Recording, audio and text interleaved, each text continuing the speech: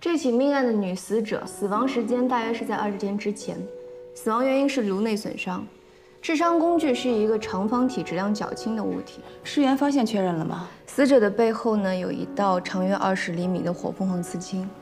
我们认为，死者在十个月之前可能有过取卵的经历。取卵？死者不是卖卵者吧？不只是卖卵，我认为死者应该是个代孕妈妈。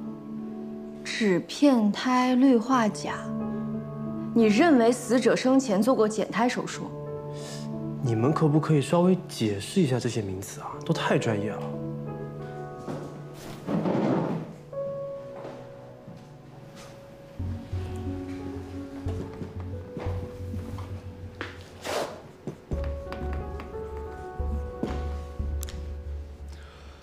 多胞胎胎儿在母体中会争抢营养、血液以保生存，争抢不过的胎儿呢，就会出现营养不良，严重的甚至难以保全。这个时候呢，就要考虑到减胎术。穿刺针穿过母体腹部，准确的刺入胎囊、胎心部位，注射氯化钾液体，就可以导致胎儿心脏骤停、死亡、难以发育。好残忍啊！我觉得在死者这个案件中。应该是有人想保住男胎，所以才会给两个女胎进行了减胎术，目的呢，就是为了保护男胎的生存环境，从而成为男胎的肥料，变成了纸片胎。实际上，在黑市代孕中，为了提高孕妇怀上男孩的概率，往往一次会为孕妇植入多个胚胎，等到胚胎发育成熟之后，可以鉴别男女，再用减胎术去除女胎。这太不人道了。没错，在我国呢，无论是卖卵还是代孕，都是非法的。但有些人在利益的驱使下，还是选择铤而走险，在海外做着这样的事情。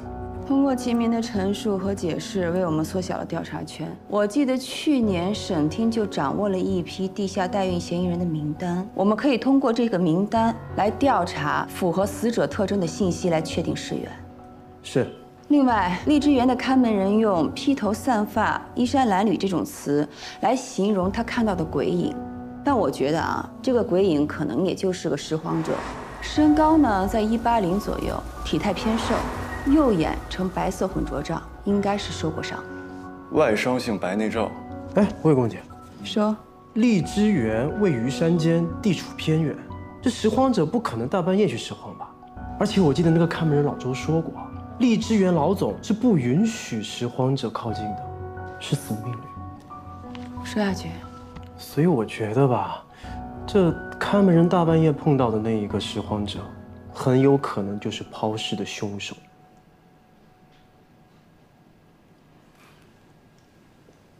我们刚刚一直在探讨的，就是这个问题。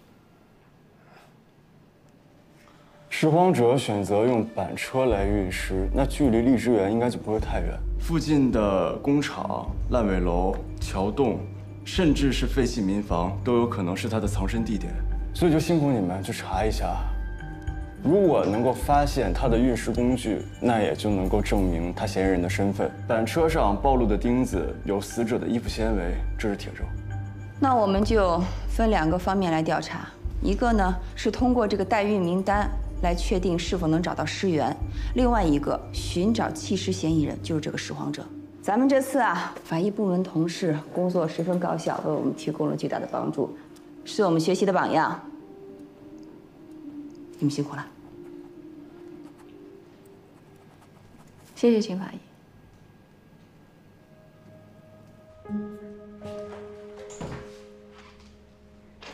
秦法医，这个就是你的座位。不用麻烦了，我过几天就走。话不能这么说，工作就要有工作的态度。我帮你收拾吧。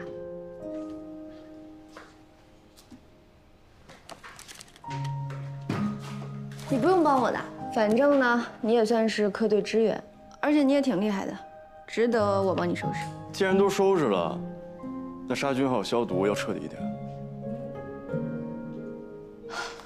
哎，那你看这样行不行啊？我明天呢，按照尸检台的清洁流程跟你走一遍，保证你坐在这里跟坐在尸检台上没有任何区别。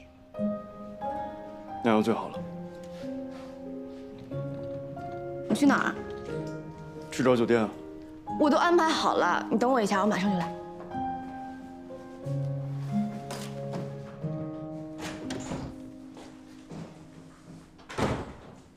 哦，喂。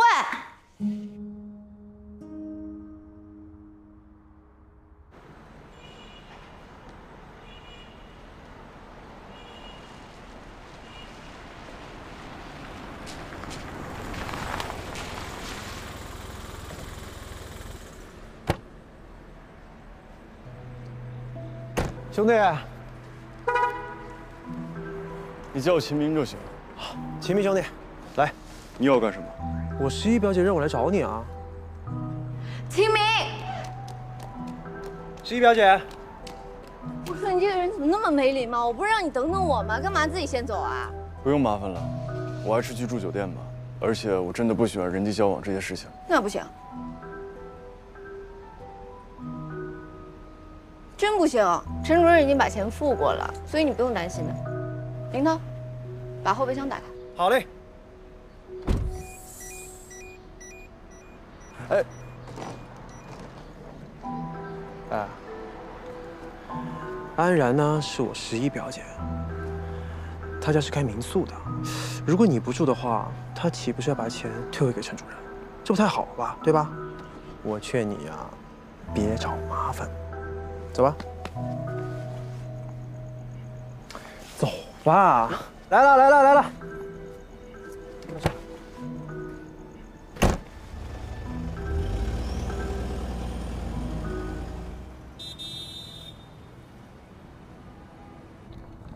就是这儿了。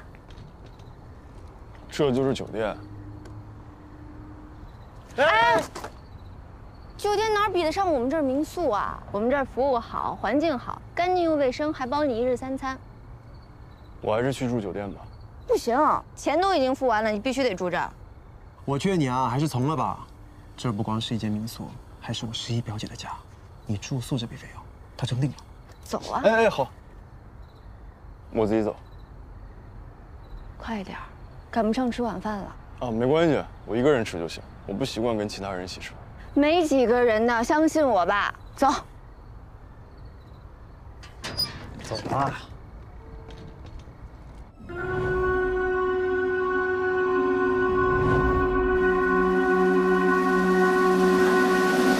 这是我爸，这是我妈，这是我大哥，这是我大嫂，这是我可爱的小侄子，这是我二哥、二嫂，二嫂肚子里的不知道是男孩还是女孩呢。这是三哥，这是未来三嫂，这林涛不用我介绍了吧？我是安然。你最好吃快点啊！啊！来来来，咱们先吃饭，边吃边聊。对，来来吃饭吃饭。哎，你身体要属什么的呀？处对象了吗？喜欢什么类型的？喜欢这种类型吗？哎，那你一个月能赚多少钱啊？父母是做什么的？哎，你有车有房吗？你老家哪的呀？嗯，哎呀，你们哪儿来那么多问题呀？吃饭吃饭吃饭吃饭。哎，你打算什么时候结婚啊？吃饭吃饭吃饭吃饭。来来吃饭吃饭，请让。多吃点吧。来弟，尝这个。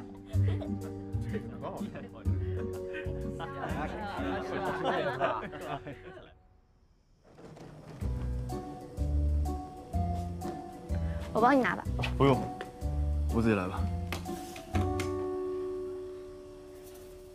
你的房间呢是 VIP 中 P，朝阳还不临街，特别安静。那，就是这间。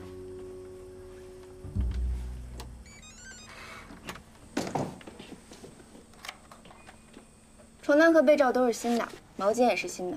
我就住你楼下这间，有事就敲我门。明天早上八点半我叫你起床，到单位需要谢谢。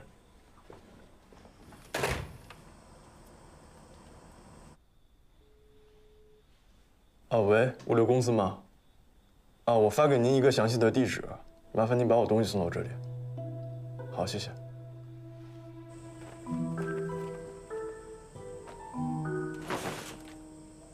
这个人神神秘秘的，十问九不答。你以为不说我就不知道？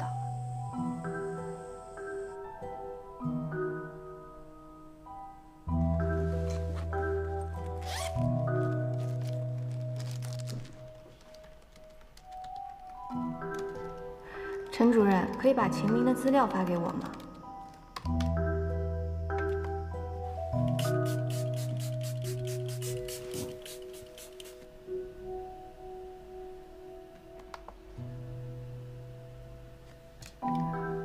秦明，东海市人，沿海城市来的。天哪，比我还小两岁，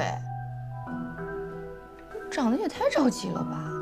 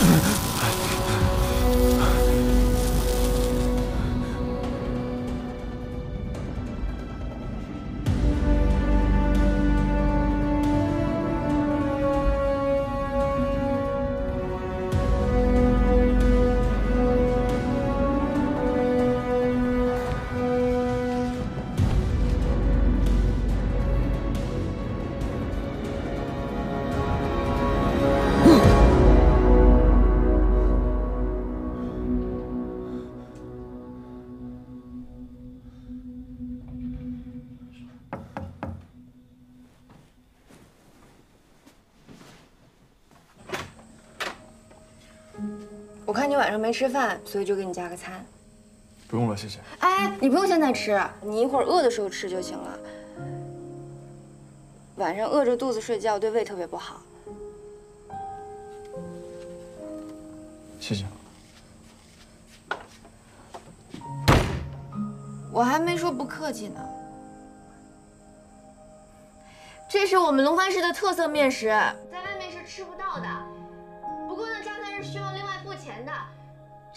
我送你，不跟你计较了。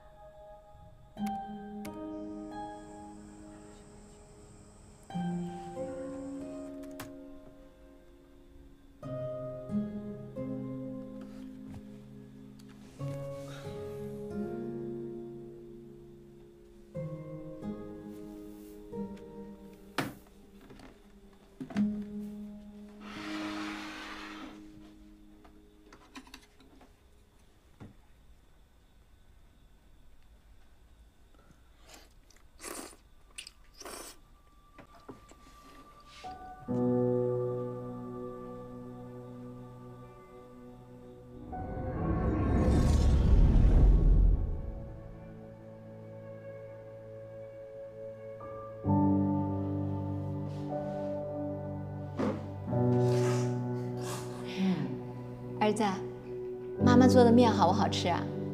太好吃了！这可是龙番市的特色，其他地方吃不到的。多吃点啊！秦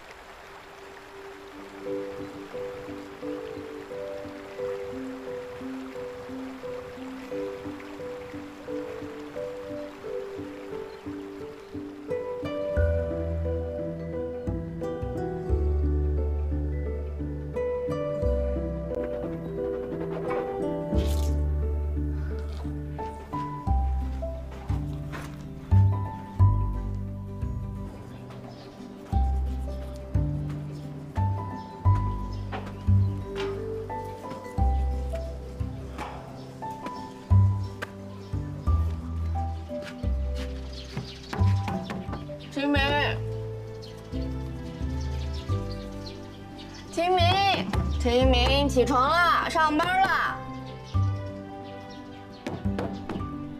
你回一下我呀！你起来没有啊？你要迟到了。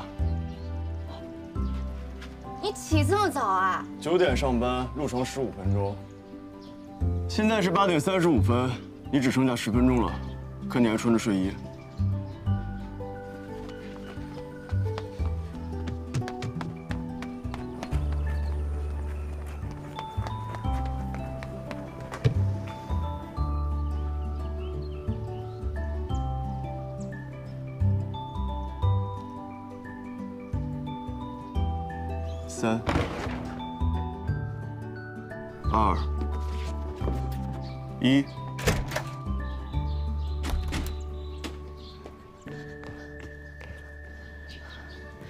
人呢？才过了一分钟，这冷血动物肯定自己先走了。要不要这么不讲人情啊？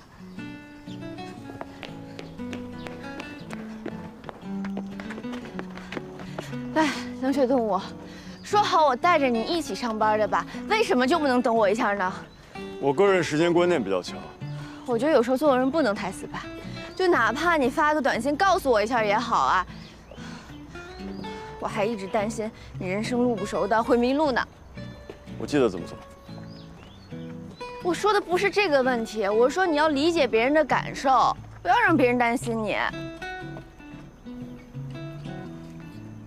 我为什么要理解你的感受？嗯因为我们是同事啊，况且你是新人，我带你，你听我的很正常。我不是你们的新人，我是过来帮忙的，而且我跟你说过，我不喜欢以任何方式去建立人际关系，包括一起上班。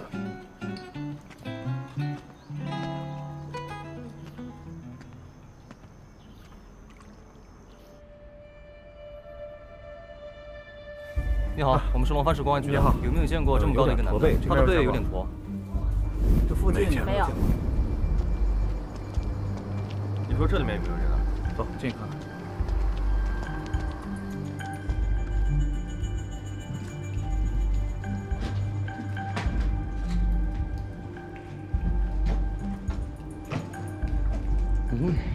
这也太臭了吧！谁能在这种地方生活啊？对啊。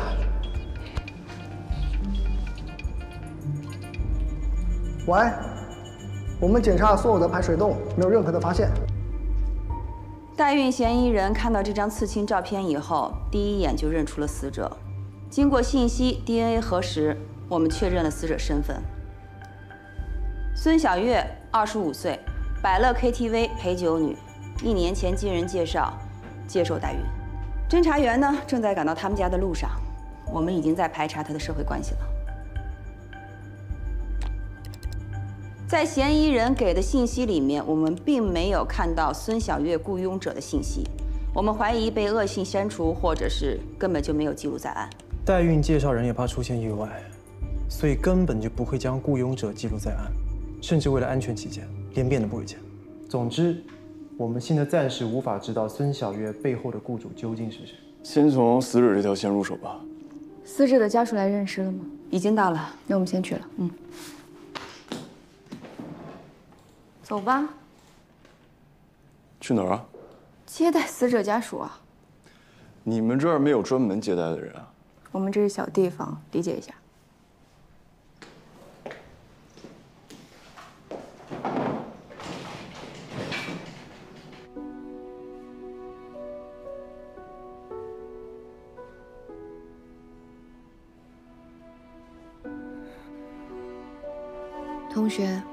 做好心理准备，因为容貌已经肿胀难以辨认，但还是希望你坚强，可以认出你姐的特征。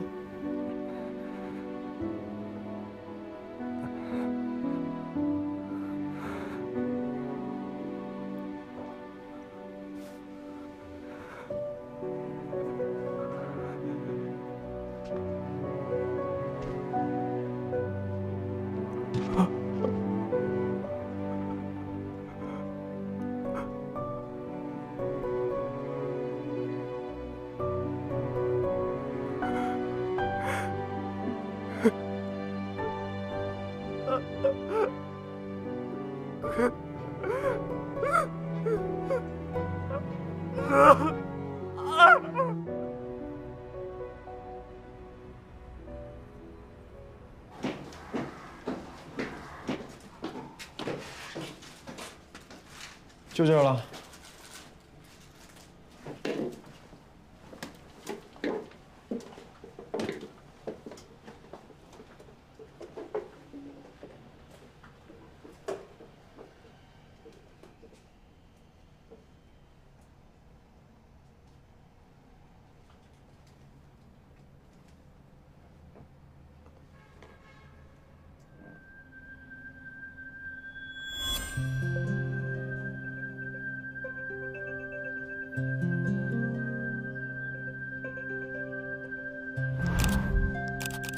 闻到什么了吗？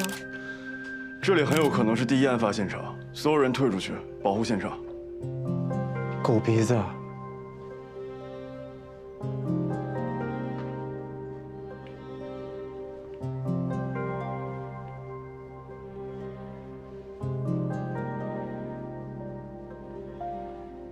我感觉吧，这挺干净的呀。你为什么认为这是第一案发现场？这里有被人打扫过的痕迹，所以我觉得很有可能是第一案发现场。不是，你解释一下，这么神神叨叨，没法记录啊。刚才我进门的时候，闻到了一股淡淡的血腥味儿。哎，这从案发开始，门窗一直都是关着的，所以应该是味道没有散尽。有没有可能死者生前在家里杀过鸡、杀过鱼之类的？桌子有疑似的人为整理痕迹，与周围的环境不符。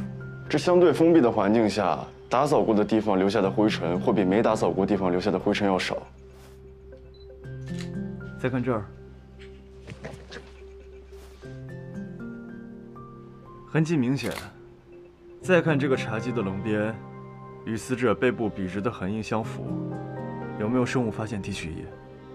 什么仪？我要做前血痕迹检验，就是看看这周围附近曾经有没有过血迹。我们这是小地方，有自己的办法。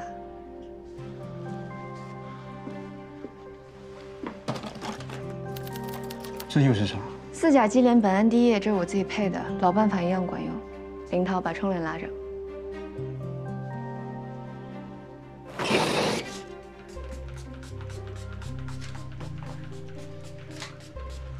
发现潜血痕迹。取样，把整个房间都查一遍。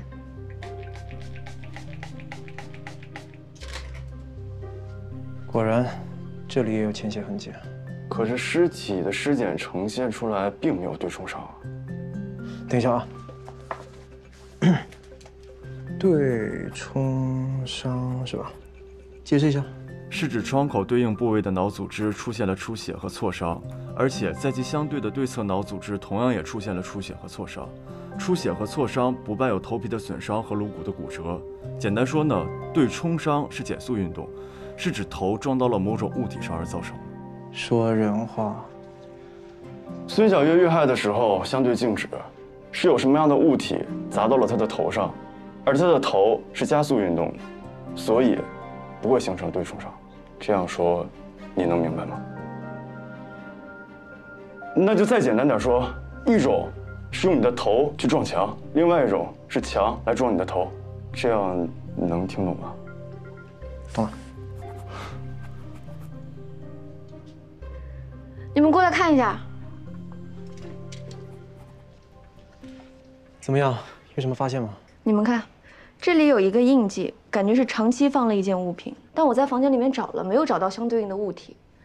现场还有另一个人的指纹，有可能是死者的同居男友，也有可能是嫌疑人，当然还有可能两者是同一个人。我来提取指纹吧。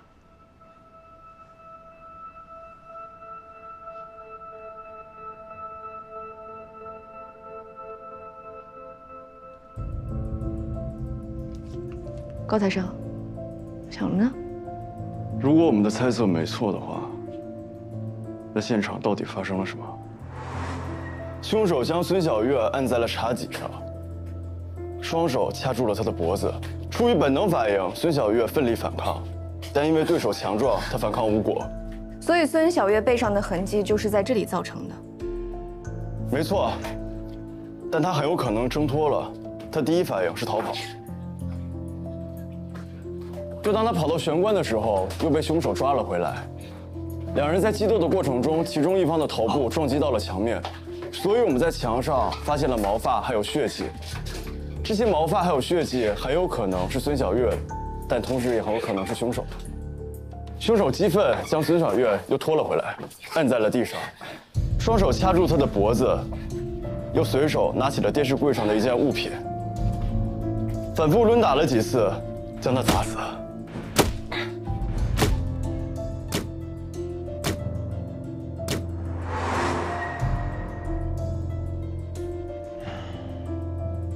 原来放在这里的东西是被带走了。这件物品应该就是凶器了，长方体，非金属材质，质量较轻。会是什么东西呢？不过能找到第一案发现场，也算是个好消息吧。但可以肯定的是，这里不是藏尸地点，我没有闻到一点腐臭的味道，而且在现场也没有发现任何的腐败液体。凶手在这里杀的人，却把尸体藏在另外一个地方将近二十多天，最后在荔枝园的冷藏库弃尸。这按理来说吧，凶手杀了人，应该第一时间逃跑才是啊。他不仅没有立刻弃尸，反而把尸体给带走了，这不符合逻辑啊。恐怕只有凶手能告诉我们原因了。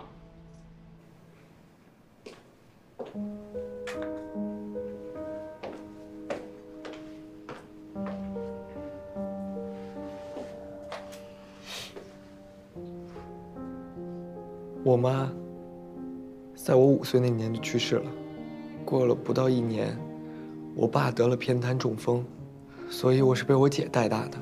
她高中毕业之后就出去工作了，每个月给家里寄钱。她成绩本来很好的，她能考上大学的。你认识你姐姐的同居男友吗？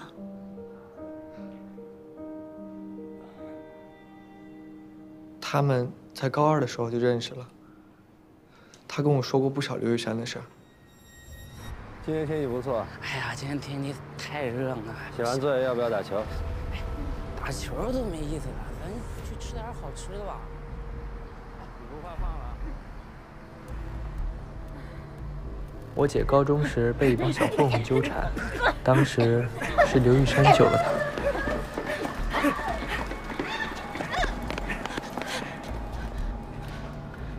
的不敢了，嗯，真的再也不敢了。你们都听见了吧？你谁啊你？少在这多管闲事。这样，帅哥，你把这瓶子的脏水喝完，我就放他走。以后不准欺负他。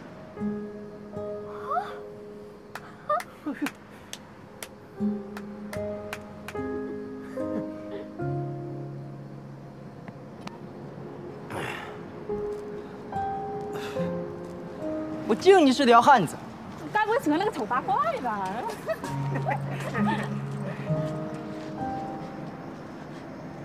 你没事吧？你吓着了吧？谢谢你。嗯。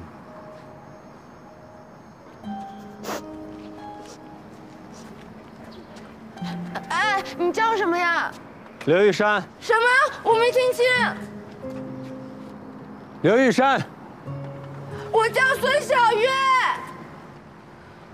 高考之后，他们就断了联系，然后过了七年，他们才再相遇。我姐说那是命。他们在一起不到第二年，刘玉山就辞职了。从此之后，他就像个废人一样，靠我姐养活。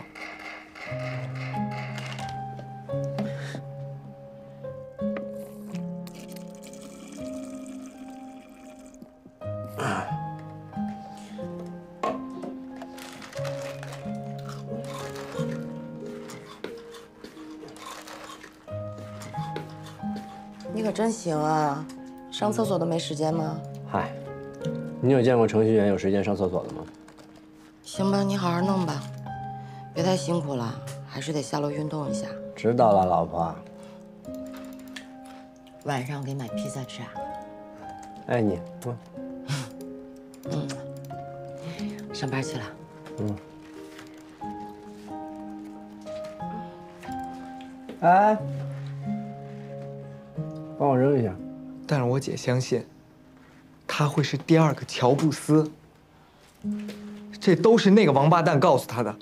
我姐连乔布斯是谁都不知道。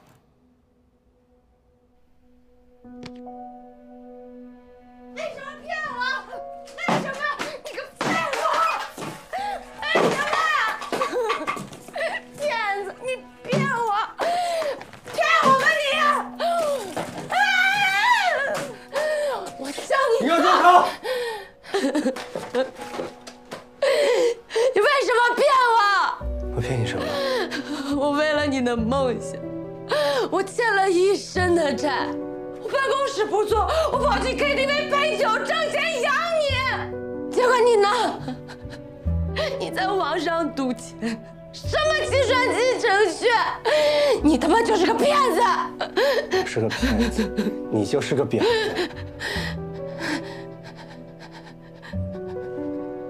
你说什么？我说你是个婊子。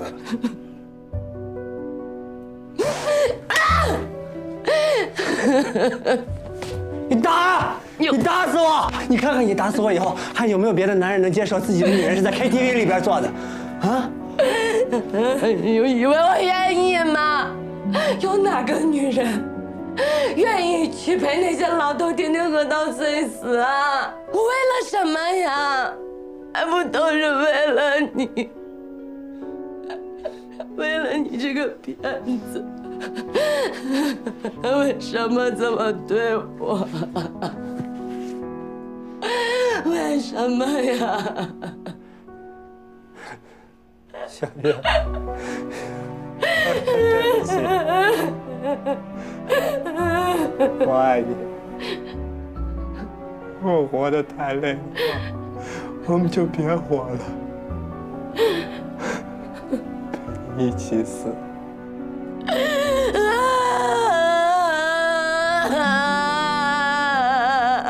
我陪你一起死。所以，杀我姐的一定是那个王八蛋，你们一定要替我姐报仇啊！如果我们找到刘玉山，我们会通知你。你今天也累了，回去休息吧。好，那我送他走。走吧。谢谢警官。走。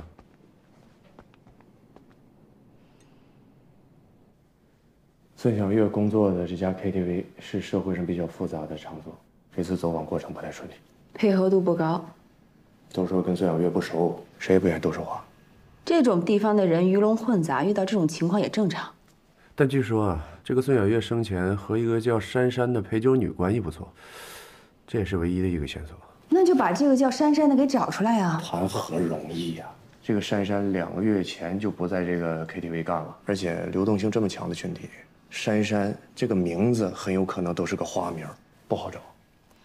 哎呀，那挺好，一个线索就这么断了。这样啊，大家啊再深入走访一下，寻找一下这叫珊珊的女人。李队，我能找到这个叫珊珊的人。领导，年轻人想立功是好事儿，但是切记不能说大话。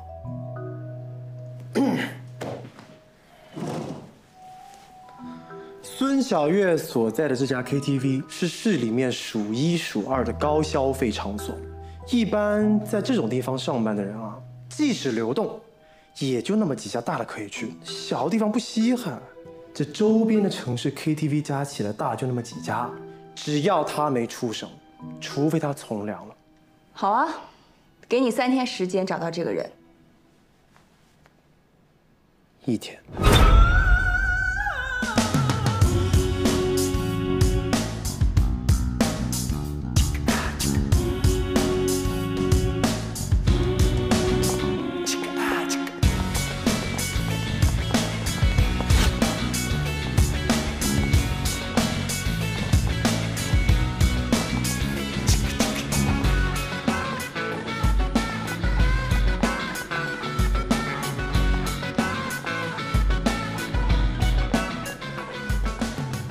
进来吧。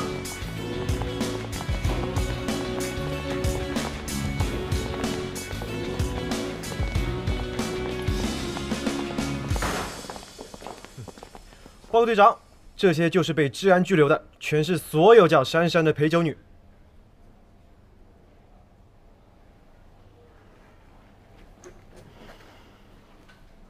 厉害啊！嗯，还希望各位领导以后能够多多严格要求啊。你们谁认识孙小月？在 KTV 里，她叫月月。各位，孙小月出事了。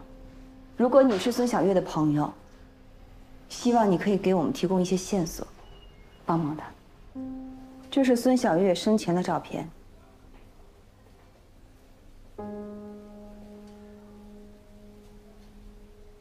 这是孙小月遇害之后的照片，看一下。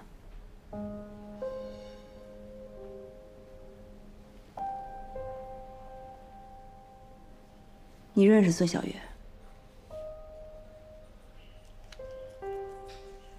请你给我们一些协助。老赵，嗯，带到询问室。哎，跟我走吧。那段时间，月月简直是被他迷疯了。刘玉山就是个懒癌晚期患者，资深小白脸。可我怎么劝，小月都不听。其实月月在姐妹中算是赚得多的，但她开销也大，毕竟要照顾一家子人。这个刘玉山，一年前欠下了三十万的赌债，这个孙小月跟你说过吗？为了这事儿，他喝醉过好几次。你们知道小月为了给他还债都做了什么吗？代孕妈妈。我劝过他，但他不听。他说过，缺奶的经历，他一辈子都忘不掉。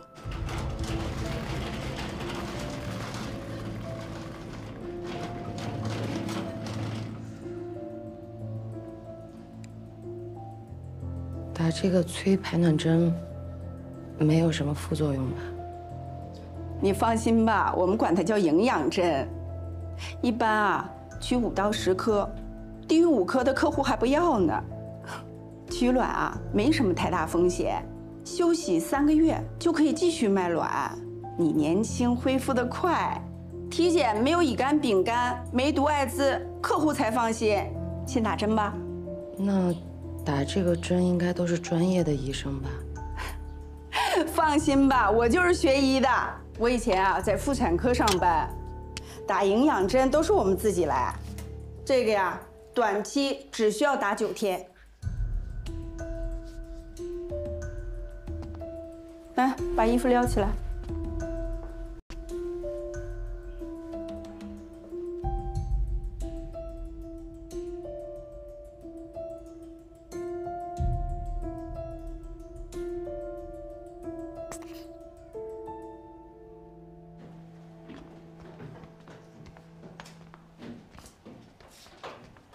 孙小月，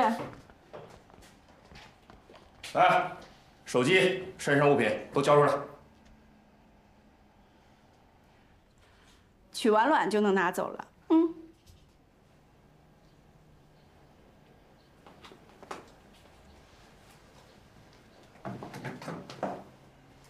放心吧，很快就结束了。取卵啊，不能打麻药。你把这个止痛药塞进你的肛门里，那。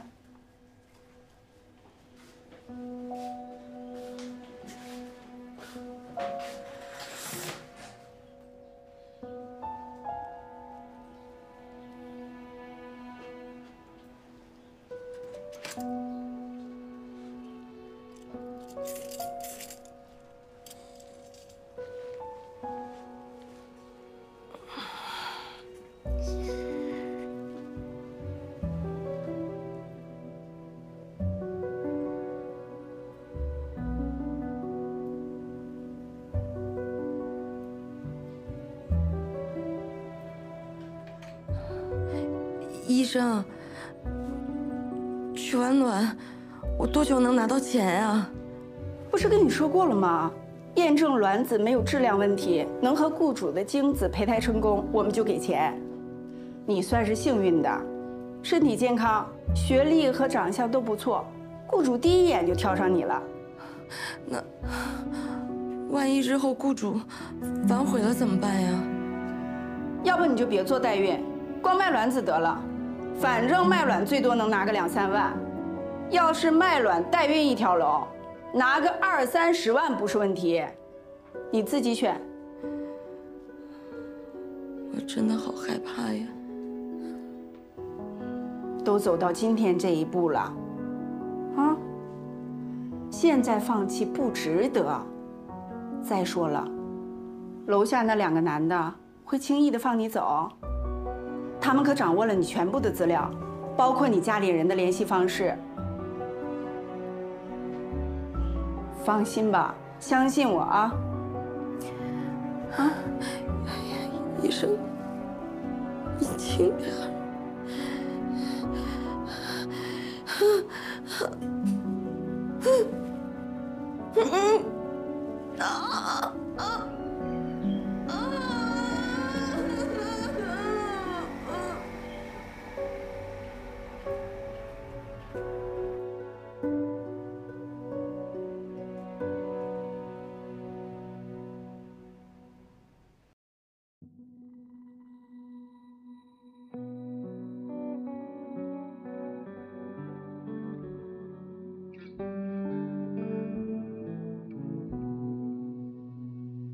见了线的木偶，是谁在控制？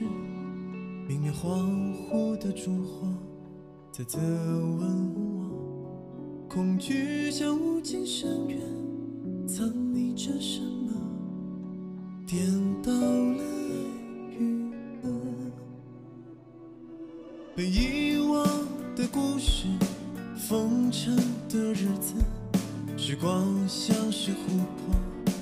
在